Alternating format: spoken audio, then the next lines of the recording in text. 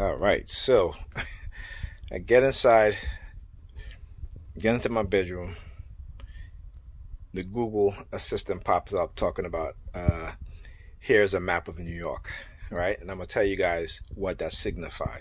It signifies me being tracked, right?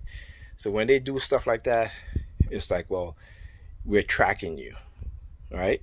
Because again, I didn't press any button for Google Assistant to pop up, and I didn't ask it any questions. I didn't say, "Hey Google Assistant, uh, give me a map of New York," right? But they'll do that from time to time when I go into my phone to make a phone call. They will switch from recent call to the map. Again, this is because the NYPD basically infected my phone with the with the spyware program that they got from Israel. Okay, the uh, the Pegasus, so they're able to manipulate my phone, delete uh, videos and stuff like that, stop videos from recording as I'm recording, and it's the NYPD. Make no doubt about it. Okay, a lot of uh, people don't want to believe that, right?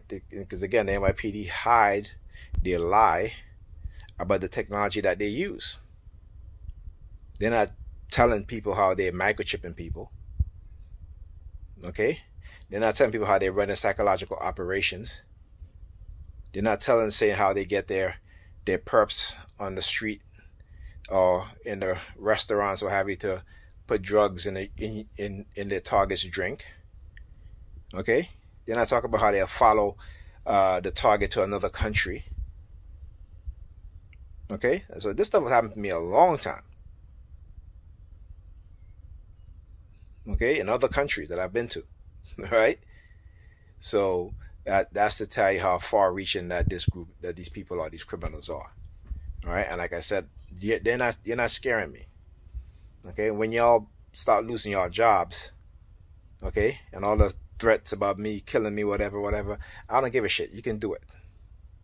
Just stop talking about it and fucking do it, okay? Because I'm not walking around here with fear in my mind and in my heart from you evil motherfuckers.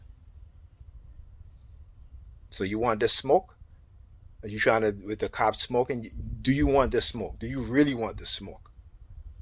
Because you're gonna get it. Okay? You're gonna get this smoke.